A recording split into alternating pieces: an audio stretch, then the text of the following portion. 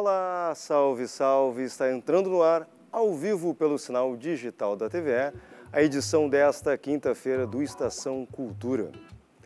E no programa de hoje, vamos conversar com a Margarita Zapata, neta de Emiliano Zapata, que está em Porto Alegre para participar de um debate dentro da exposição Adelitas.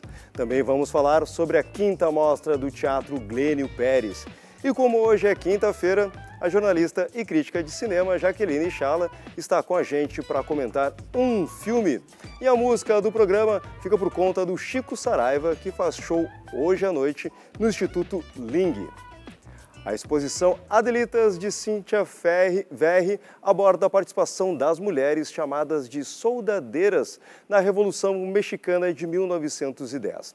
Durante o processo de criação das obras, a Cíntia conversou com a Margarita Zapata, neta de Emiliano Zapata, veterana da Revolução Sandinista, ativista social e socióloga. E a Margarita está em Porto Alegre para participar no sábado de um debate sobre o avô e sobre o feminismo em tempo de guerra e paz. E é com ela que eu converso agora. Seja bem-vinda aqui a Porto Alegre, bem-vinda ao Estação Cultura. Bom, esse debate vai ser para conversar um pouco sobre o teu avô, mais do que isso, para conversar um pouco sobre a tua história e sobre essa militância no feminismo e, sobre, e pela democracia também, né? Seja bem-vindo. Muchas gracias por haberme invitado y por estar aquí, para dar voz, decimos, a las mujeres que no tienen voz. Eh, sí, para mí es muy importante hablar de las, de las mujeres, de las mujeres, de las Adelitas en la revolución, de las mujeres en la revolución sandinista y de las mujeres en todas las revoluciones y en todas las luchas sociales del mundo. No estamos ajenas. No porque no sea una revolución armada, deja de ser una revolución. Todas las ideas eh, que son progresistas, que son para cambiar las cosas, es que no entiendo por qué la gente tiene mucho miedo a la palabra revolución, si la palabra revolución solo significa cambio. Y el cambio tiene que estar presente todos los días de nuestra vida, cualquiera que sea nuestro, nuestro trabajo, cualquiera que sea nuestro quehacer, porque es la única forma de cambiar las cosas. É transformar é fazer a revolução todo dia, nas pequenas coisas sempre. Né? En las pequeñas cosas. Y a veces esas pequeñas cosas en las que creemos que no estamos haciendo nada, que no estamos haciendo ningún cambio, son las portadoras de las grandes transformaciones sociales. Eu lo veo assim. Bom, tu é um desses exemplos, a gente não está falando só das pequenas coisas, mas também das grandes coisas ou dos grandes movimentos também. E esses grandes movimentos, às vezes, começam nas lutas por coisas simples, como o direito à terra, o direito à vida, o direito à igualdade, né? El derecho a la vida, el derecho a la tierra, porque el derecho a la tierra es parte del derecho a la vida. Si tú no tienes derecho a la tierra, ¿cómo vas a vivir? ¿De qué vas a vivir? Había un campesino nicaragüense que decía, no somos aves para vivir del aire, no somos peces para vivir del mar, somos hombres para vivir de la tierra. Eso es una realidad que nada ni nadie puede cambiar. Si tú no produces, no puedes vivir. Y algo que hemos olvidado es que no somos autosuficientes ni somos soberanos en cuanto a la alimentación. Y si no tenemos soberanía alimentaria, no veo cómo podemos tener soberanía nacional. Es una pregunta para los políticos. E dentro dessa, das lutas, as várias formas de lutar, desde das mais teóricas, mais retóricas até as mais efetivas, as mulheres sempre estiveram presentes em todos esses processos, né? Um pouco sobre isso também que tu vai conversar, né, no sábado. Sí, eh, es que las mujeres siempre hemos estado presentes, eh, aunque no se nos, se nos cuantifique. El problema es que eh, si las mujeres han estado al frente de, de, las luchas, y te estoy hablando de combates, de los combates de la lucha armada. Una vez que terminaron las revoluciones, las quieren o nos quieren mandar de nuevo a la casa, porque eh, eh, vivimos en una sociedad machista y los hombres y muchas de las, de las mujeres también no coinciden a una mujer luchando que no sea en su casa, ocupándose del marido, de los hijos y, y, de, de, todo eso que ha sido tradicionalmente el quehacer de las mujeres. Pero las cosas han cambiado y una transformación no puede ser completa sin la participación de las mujeres. Porque, a ver, hablamos de economía, hablamos de democracia, hablamos de, todas estas cosas, como tú bien dijiste, es muy teórica. ¿no? Pero ¿quién tiene más sensibilidad para dirigir la economía? Y no, no solamente de los hogares, sino también de las grandes empresas.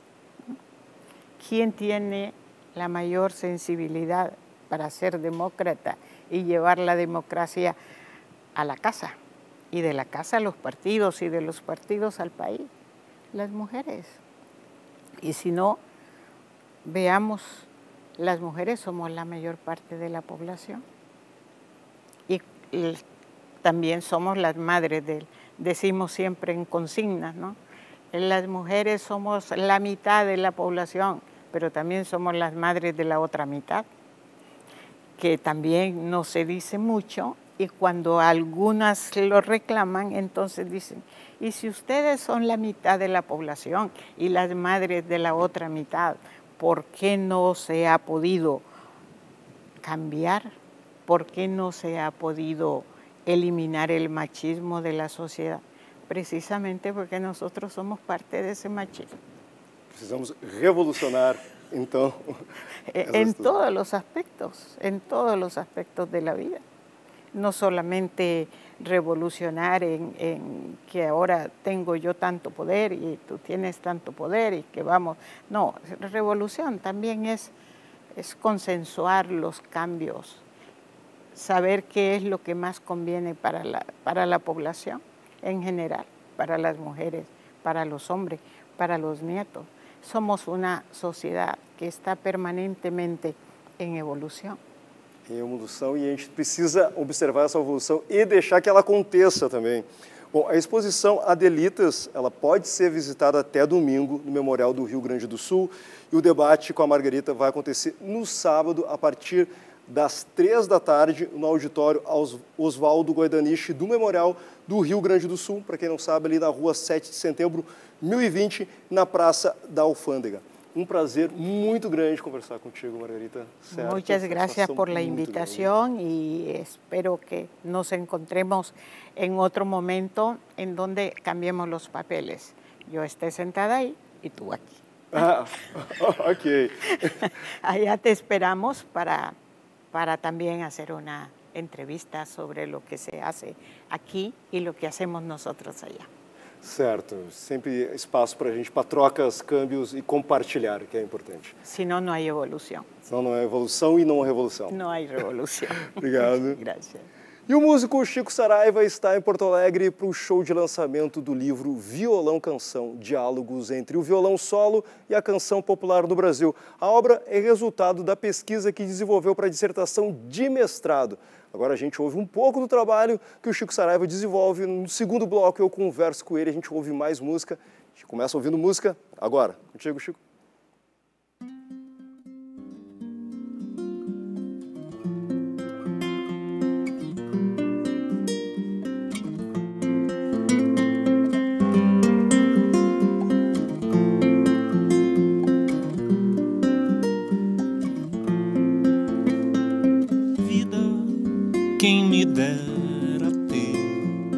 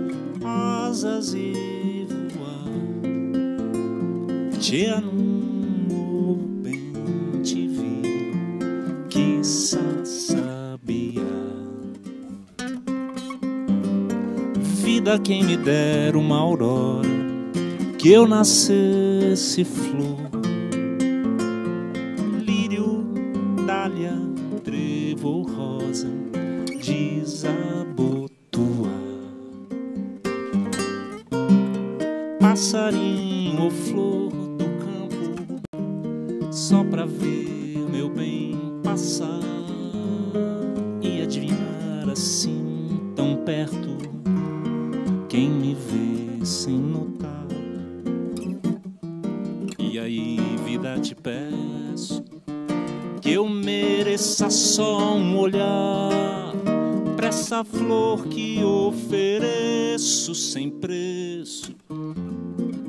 Ou escuto meu cantar, passarinho que floresce, carece.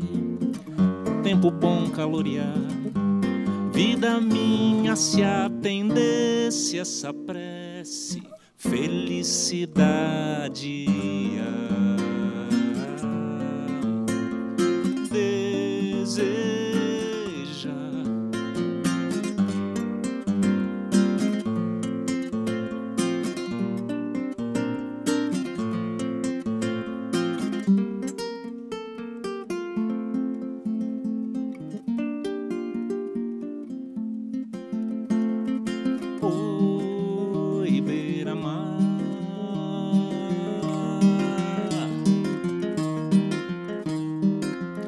Nesse mar tem mironga,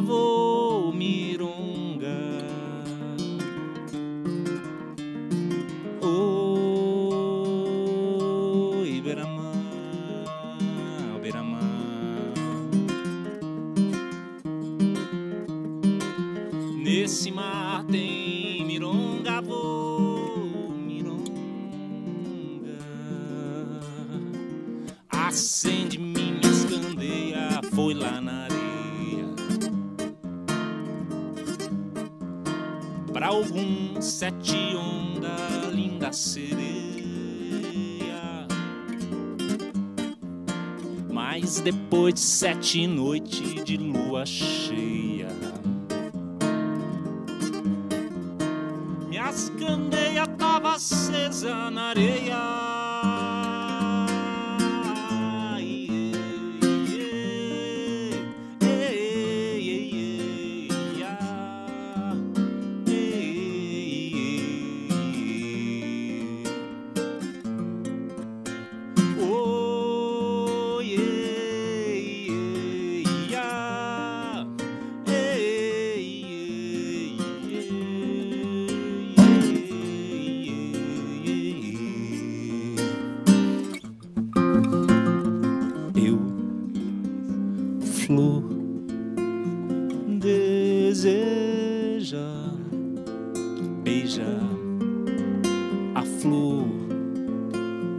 Passarinha.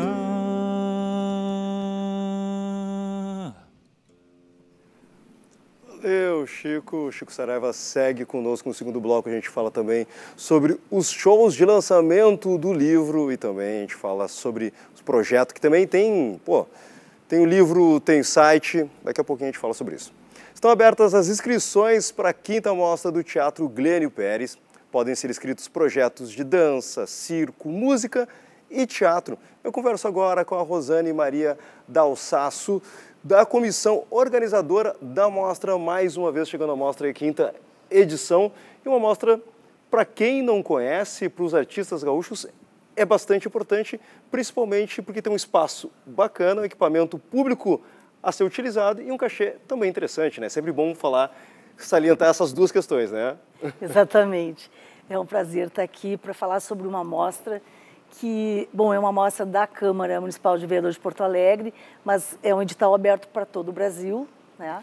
E que está na quinta edição, poderia estar na sexta, mas não tivemos um ano. É, bom, esse teatro, ele tem 80 lugares, né? O Teatro Glênio Pérez, que homenageia o Glênio Pérez, também com o mesmo nome do Largo Glênio Pérez, com mais 10 cadeiras extras que podem ser colocadas, então são 90 lugares.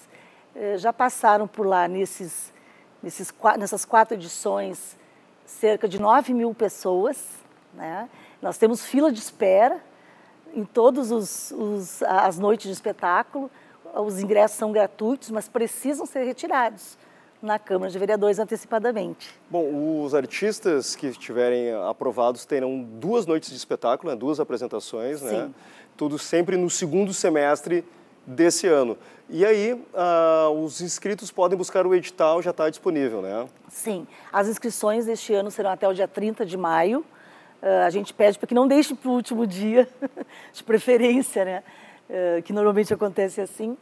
Mas uh, serão uh, então selecionados 14 espetáculos, uh, que na verdade serão 28, né? Iniciará no dia 9 de agosto a mostra e vai até a primeira semana de dezembro.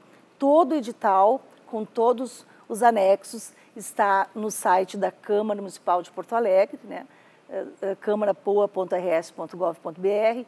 Também existe um e-mail, mostra de artes, arroba câmarapoa.rs.gov.br e é, as dúvidas poderão ser tiradas na sessão do memorial da Câmara de Vereadores, é, com integrantes da comissão, é, também pelo telefone 3220 4318. Como já é, estamos na quinta mostra, nós já aperfeiçoamos esse edital né, durante esses anos, então também o recurso foi aumentando, né, para, para grupo, o valor eh, do cachê é de 14 mil reais por duas apresentações e para solo né, eh, é 8.500 reais. Então, um, um, período em que nós estamos com problemas da Lei Rouanet, né, ou seja, a Lei Rouanet está quase sendo extinta. Uh, em nível de Estado ainda não temos muitos editais, né, está se iniciando.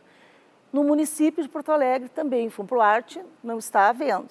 Então nós temos o edital da Câmara Municipal de Porto Alegre com o objetivo de formação de público, com o objetivo de exatamente proporcionar à população de Porto Alegre e região, que vem bastante gente da região também, espetáculos de dança, de teatro, de música Sendo e de que circo. os cachês são pagos logo seguido, assim, dez dias após as apresentações. Exato. Uh, então também tem toda uma equipe da, da comissão ali que pode ajudar durante o processo de inscrição com o edital para quem tiver algum tipo de complicação. Então, a quinta mostra do Teatro Glênio Pérez, as inscrições vão até o dia 30 de maio, então tem um mês inteiro, tu pode ir lá uhum. buscar o edital e conforme tiver algum tipo de, de dificuldade, busca a comissão sessão de memorial da Câmara Municipal de Porto Alegre, na Avenida Loureiro da Silva, 255 Térreo. Obrigado, Rosane, pela tua participação aí. Obrigada. E até a próxima, até certo? Até a próxima. Bom, a gente faz agora um pequeno intervalo e volta com dica de cinema da Jaqueline Chala e com a música do Chico Saraiva, um instante só e a Estação Cultura já está voltando.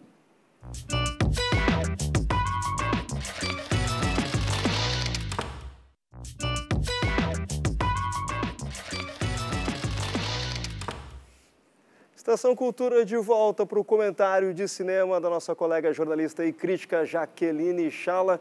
E qual é o filme de hoje, Jaque? Seja bem-vinda à Estação Cultura. Tudo bem, Jaque? Tudo bom.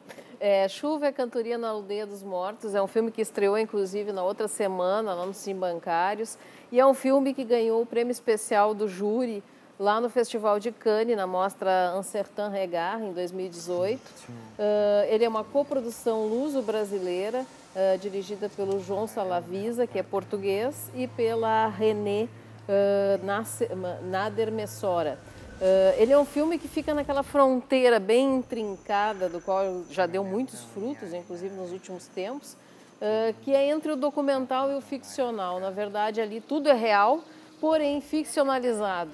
O que é ficcionalizado é a história do índio, do jovem índio Henrique Inhac Craô, que depois do luto do pai, depois da morte do pai, precisa fazer o ritual do luto.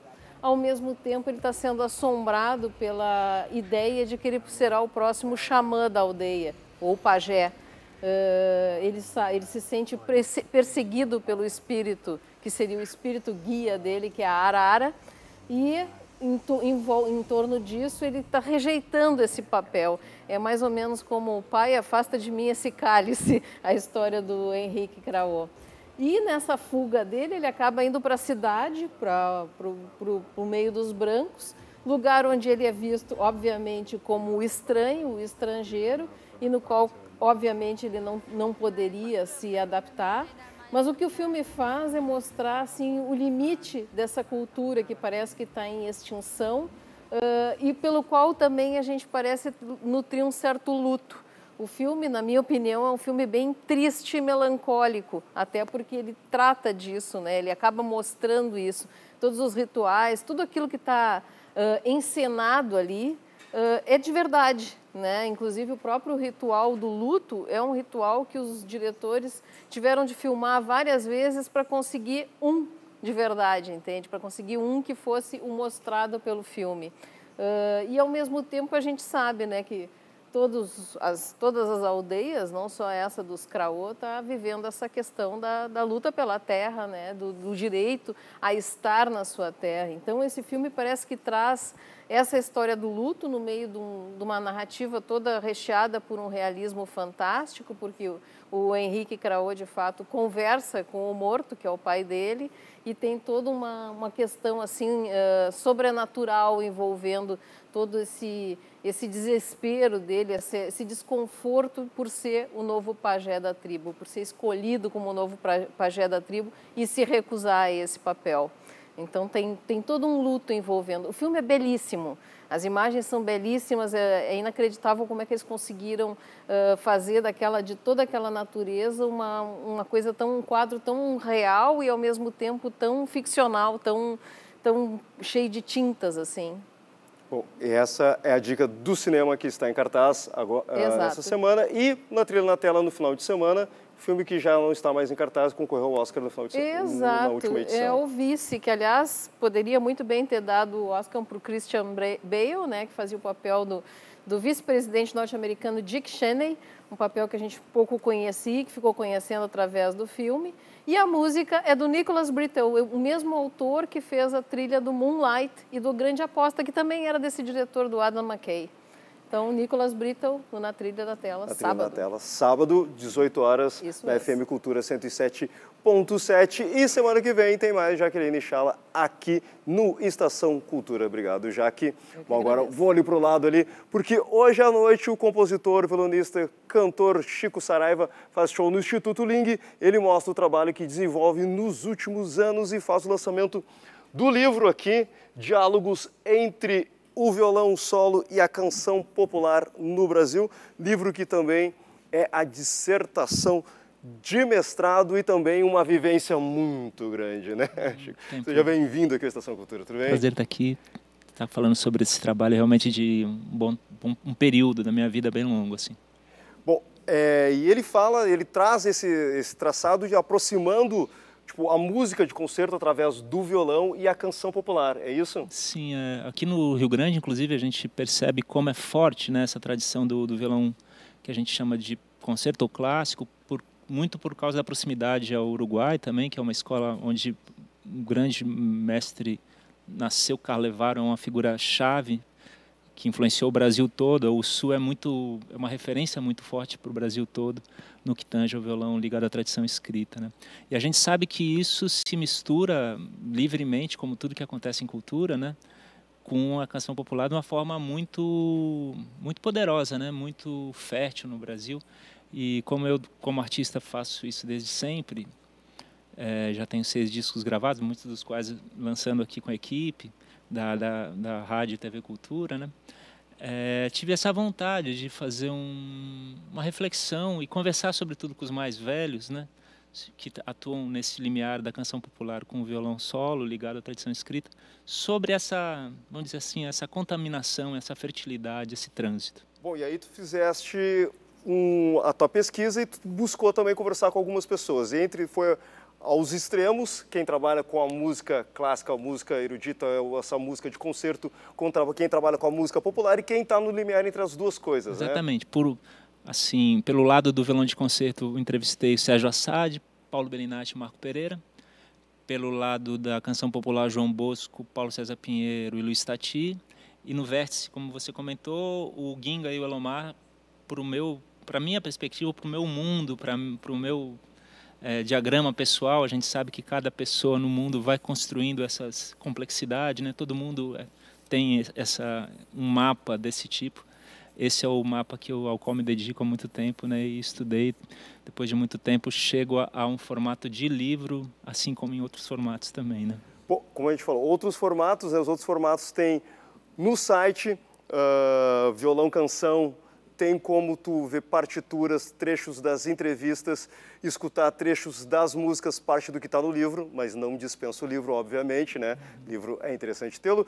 Tem um filme também que já foi exibido aqui em Porto Alegre, vai ser exibido em Bagé e também vai ser exibido em Pelotas também. Exatamente. É, hoje a gente está às 20 horas no Instituto Ling fazendo show porque ontem tivemos esse evento da exibição do filme e o do bate-papo, lançamento formal do livro, assim, aqui em Porto Alegre, no Núcleo de Estudos da Canção. Agora, amanhã estamos indo para Pelotas, realizar essas mesmas atividades. E no sábado, eh, para Bagé, que é até a terra natal do meu pai, então estou muito feliz de estar indo reencontrar um ambiente que eu frequentava quando menino, né? E estou indo lá de novo. Então, para quem está em Porto Alegre, hoje, a partir das 20 horas, no Instituto Ling. E também para quem tem acesso à internet, vá buscando por aí, porque tem bastante material do Chico Saraiva, principalmente sobre esse livro também.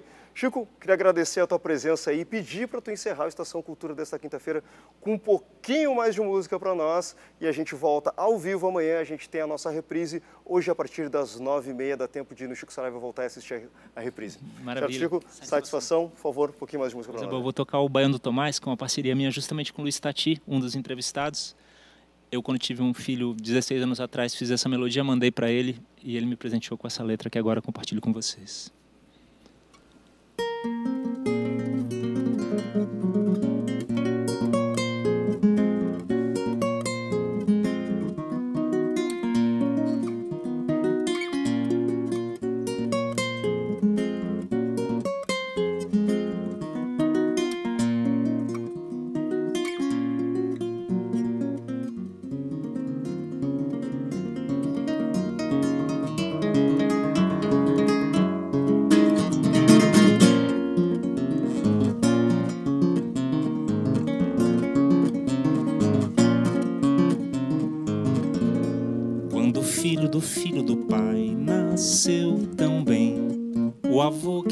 Do seu pai foi ver o neném. Ele viu que seu filho sorria, isso já lhe agradou. Era o filho que o filho queria e que agora chegou. Tinha um pouco do pai e mais um pouco do avô. Quando a mãe desse filho do pai